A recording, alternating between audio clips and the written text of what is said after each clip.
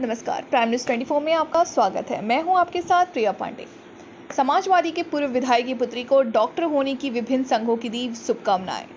आज दिनांक 21 सात 2021 को पूर्व विधायक आदरणीय श्री राम गोपाल रावत के श्री राम कॉलोनी स्थित आवास पर माननीय विधायक जी की उपस्थिति में उनकी पुत- सुपुत्री डॉक्टर सीमा रावत जी को लेखपाल संघ व अध्यापक संघ द्वारा बुक्के भेंट कर एमबीबीएस की उपलब्धि हासिल कर डॉक्टर बनने पर बधाई प्रेषित की गई।